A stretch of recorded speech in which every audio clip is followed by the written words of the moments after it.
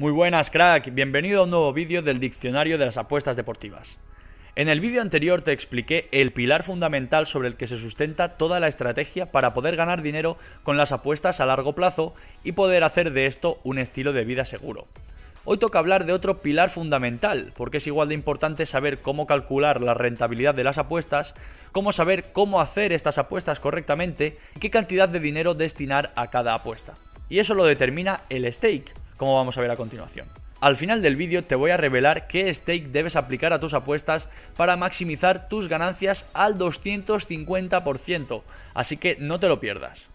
Seguro que has oído hablar muchas veces del stake, de hecho, todos, absolutamente todos los tipsters lo utilizan para expresar el grado de confianza que tienen en una apuesta. Y si por casualidad sigues a un tipster que no usa el stake para sus apuestas, huye de allí porque no vas a ganar dinero, al menos no a largo plazo, eso te lo aseguro. En términos generales, el stake es la confianza o probabilidad que se le aplica a una apuesta concreta de forma externa, ya que si fuera una forma interna estaríamos hablando de la cuota que fija la casa de apuestas, de la que os hablaré en próximos vídeos del diccionario. Tener un buen control del stake y del dinero que destináis para apostar es casi igual de importante que saber controlar el yield, porque una mezcla de los dos puede llevaros a ganar mucho dinero si tenéis cabeza.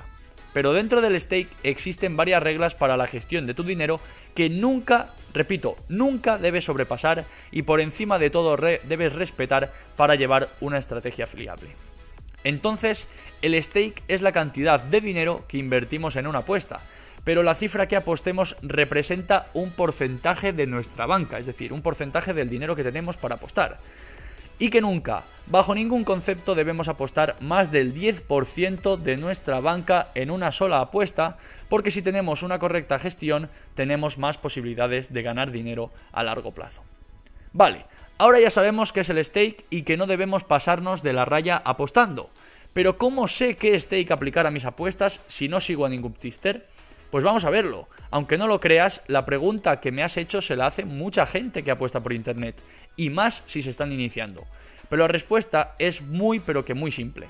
Para saber cuánto vale nuestro stake personal, simplemente tenemos que dividir nuestro bank, que os explicaré sus particularidades en otro vídeo, entre 100. El resultado que nos dé equivale al 1% de nuestro bank, y este será la cantidad que invertiremos como apuesta con un stake 1, es decir, una apuesta con probabilidad normal de que salga. Un stake 1 también significa una unidad, que seguro que has visto a muchos tipsters utilizarlas. Las unidades también nos ayudarán a saber si un tipster gana dinero o no, pero como siempre, vamos a verlo con un ejemplo práctico. Imagínate que tienes 250 euros destinados para apostar entonces debes establecer en tu estrategia que tu stake 1 para hacer una apuesta es de 2,50 euros y que tu apuesta máxima, que sería un stake 10, será de 25 euros. Aplicar correctamente el stake de las apuestas es sinónimo de respetar la banca o el dinero que tienes para apostar. Es el principal objetivo que debemos cumplir para convertirnos en jugadores ganadores en este mundo. Puede que te estés preguntando, vale, pero ¿cuál es la idea y la utilidad real del stake? Como ya te he explicado, la finalidad y el objetivo del stake es realizar inversiones pequeñas a las apuestas que hagamos. De esta forma evitamos perder todo nuestro dinero a la primera de cambio apostando una gran cantidad de dinero y así poder salir airosos de las malas rachas que siempre existen en las apuestas. Dicho de otra manera, nunca estaremos al 100% convencidos de que una apuesta va a salir sí o sí, aunque tengas toda la información del mundo, Así que lo importante de esto es ir apostando cantidades pequeñas de tu dinero poco a poco, respetando el stake y tener paciencia para ir ganando poco a poco en el largo plazo. El principal error que tienen los apostadores novatos es que se creen que ganar dinero es una tarea fácil y que ganar dinero es sencillo en el mundo de las apuestas. Por eso se juegan mucho dinero a un solo partido, asumiendo un riesgo excesivo, lo que a la larga les lleva a la bancarrota y a perder todo su dinero. Y por último, y más importante, ¿Qué stake debemos aplicar a nuestras apuestas como norma general? ¿Un stake 1? ¿Un stake 2? ¿Cuál? Vamos a verlo. Para aplicar el stake a nuestras apuestas hay que considerar varios factores que son vitales, desde la confianza que tenemos de que una apuesta salga ganadora hasta el valor que percibimos de esa apuesta.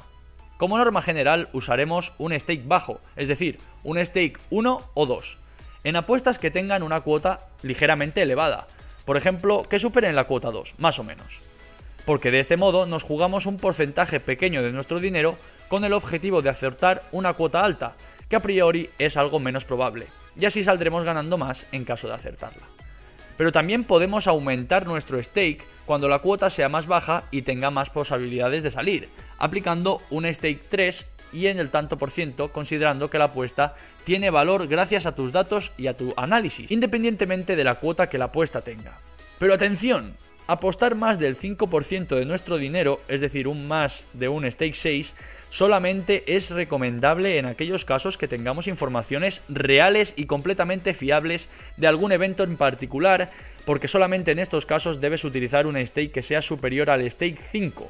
Y recuerda, siempre todo lo que vale la pena cuesta trabajo, así que ten paciencia.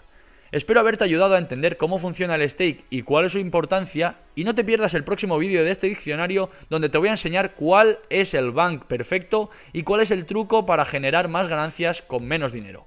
Muchas gracias y hasta el próximo vídeo.